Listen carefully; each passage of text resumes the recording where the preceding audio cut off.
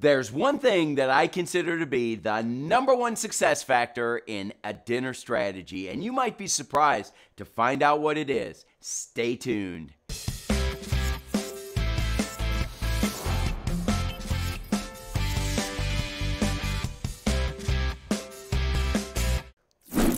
Six years ago, I met with a nonprofit working in Omaha, Nebraska. They had done a dinner before, but had reached that plateau that many organizations reach around the three to five year mark. They weren't seeing growth in attendance and definitely not in income. The leader asked me to come in and help pump some life into his dinner. I asked him to gather his staff, board, and past and potential table host to attend what I refer to as a name storming session he let me know that a number of those who were attending had a lot of contacts but never shared those names with him. By the end of the time, we had 150 potential hosts, and he said that was the most significant exercise he had ever done in his years as a leader.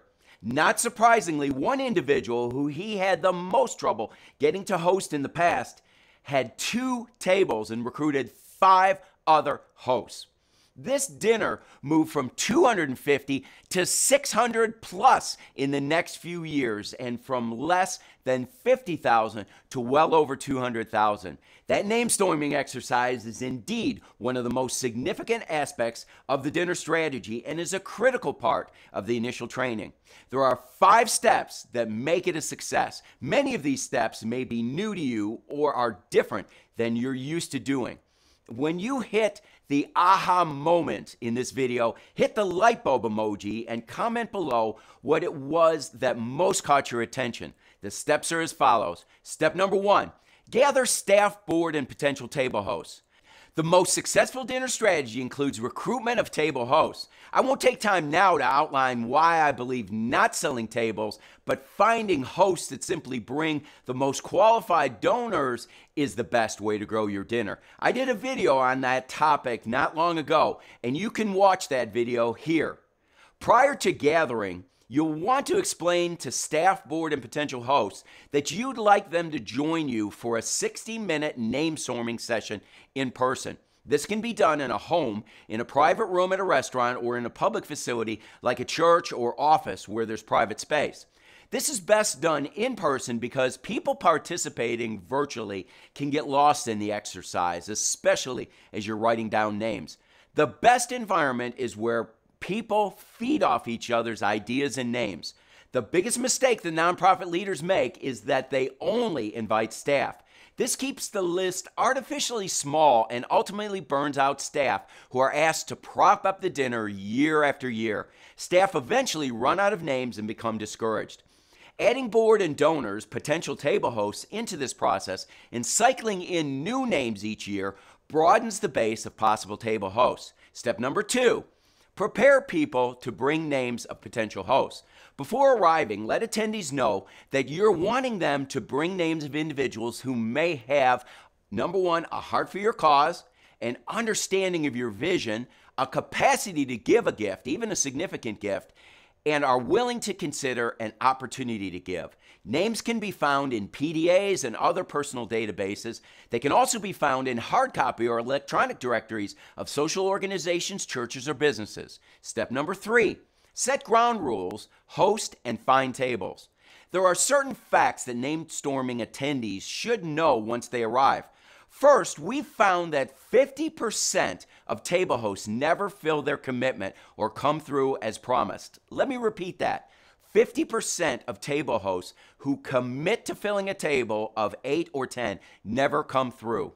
They try and fail. Something comes up that distracts their ability to fill the table. Or some even say, I had no idea my company was going public. My life is so crazy right now, I'm not even certain if I'll be there. As a result, if you wanted 150 people at your event and you had tables of 10, you wouldn't need to find 15 people to commit to being hosts. You'd need 30. There are rare exceptions, but it gives you great comfort to know that if you do lose a table host, that it was factored into the planning. But remember, a host who only brings one or two other couples is better than a host who brings no one else. Enjoy what you have gained. Second, It's also a fact that three people have to be asked to host before one accepts the challenge. Therefore, to get three table hosts, you have to ask nine people. To get 30 table hosts, you have to ask 90 people. The ground rules you should establish are as follows. Anyone in the room should be considered a host themselves and should be expected to fill a table of 8 or 10, depending on the capacity. Number two, any name they give of a potential host, they should agree to be the one assigned to follow up and challenge that host, unless someone else knows them better and agrees to take on the challenge of asking them. This means that ideally, everyone in the room should be challenging at least five to 10 individuals to be table hosts. Step number four record publicly but capture personally. It's a proven fact that name storming is best done in person with a group of individuals because it allows everyone to process through the name. There is no wrong or bad answer, but if someone hears a name that has a backstory, something is happening in their life that precludes them from hosting, that's important to know. Also, someone in the room may give a name, but someone else might know them better and would best challenge that person.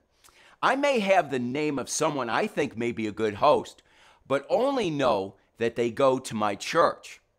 Someone else may play golf with that person weekly and we'd be better to challenge them than me.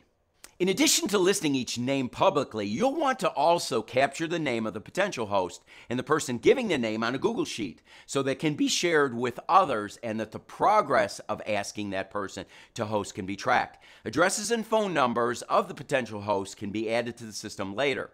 Before I share step number five, I wanted to share an interesting statistic that I found out the other day. More than 70% of those who watch this channel regularly have never subscribed to the channel. A radio personality once said if you partake in the food from the refrigerator, help to restock the refrigerator. In our case, that's subscribing to this channel. There's no cost to you, but the more subscribers we have, the more this message gets out to others, and the more we can all share in the wealth derived from our collective experiences. Step number five name storm using categories. At about 75% of the necessary names, the flow starts to slow down and names get down to a trickle or stop completely. At that time, I like to add to the list a series of possible categories to prime the pump. I ask, are there any real estate agents who might be interested in our cause? Or how about car dealers, attorneys, insurance agents, doctors, or business owners? I list a series of categories one at a time and let people add those names to the list. There are some careers that require people with networking skills, insurance, real estate, car dealers, etc. Those are great people to ask to be table hosts. I'll share that list of career categories in the description below.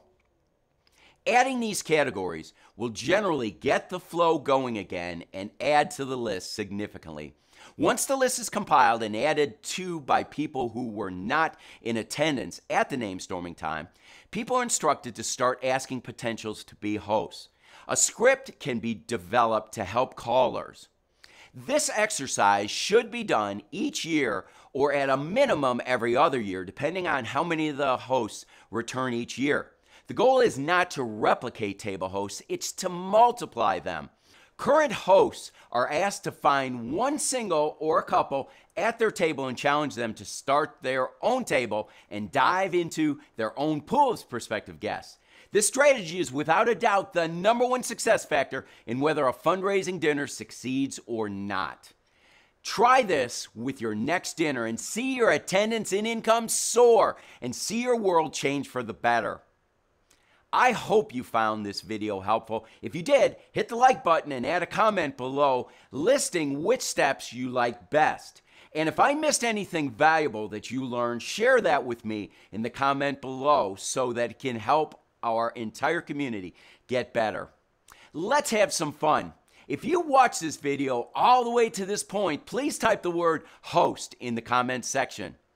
Once again, if you aren't already a subscriber to this channel, simply hit the big red subscribe button and click the all bell to be notified when the next video is released. If you want to find out what to do and say during a meeting with a donor, watch this video and raise more money than ever before and better our world. I wish you the best as you strive to increase your income and reach the goal of becoming fully funded. Thanks a lot. See you in the next video.